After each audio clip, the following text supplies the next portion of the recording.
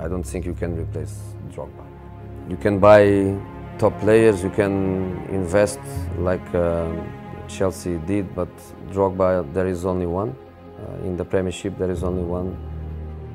In Chelsea history, there is only one.